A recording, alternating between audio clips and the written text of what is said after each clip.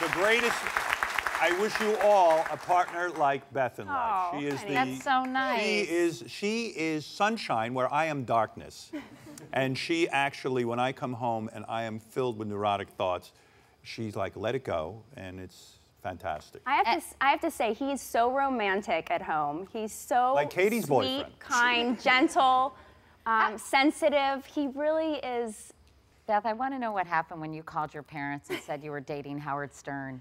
Well, this was 13 years ago. We've been together for over 13 years. It was Mother's Day. Oh, God. 13 years ago. I'm What do you mean, oh, God? I'm getting pitted out just thinking about Here, this let me phone let me call. pull you down.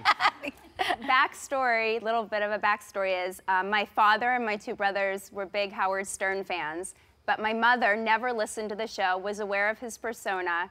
She's a very devout um, Catholic. More Catholic than Jesus. Goes to church every day. I called her. My mother and I are very close. I said, I met the man of my dreams tonight. I'm done. And she's never heard those words come out of my mouth.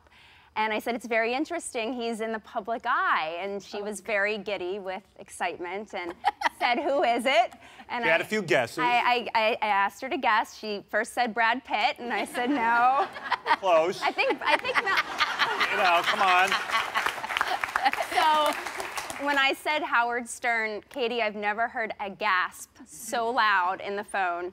Um, she slammed the phone down and did not talk to me for two weeks. Went straight to church. So And you know what that meant? Went straight to church. And you know what it meant to me? I must be doing my job right because that's the proper reaction to the name Howard Stern, right? you don't want you don't want a safe reaction. But my father, being a huge fan, it didn't really rest well with him either, knowing that he was the persona on air. Listened to him. You to mean your dad day. didn't want you to date Butt Bongo Howie and, and Fart Man? But then two weeks later, uh, my parents, both of them, met him, and it's been a love fest. Ever really? so you have a good relationship with your in-laws I now? do actually, and and my mother-in-law is, uh, you know, she's she's terrific now with me. Like she came over, she met me, I took her out to dinner, and uh, we had a good conversation, and she saw I wasn't a horrible monster, you know. She adores you. She, she, we have a great relationship, Oh, and that's and nice. Beth's dad's a great guy too. So we we, we have a we have a great time when we get together.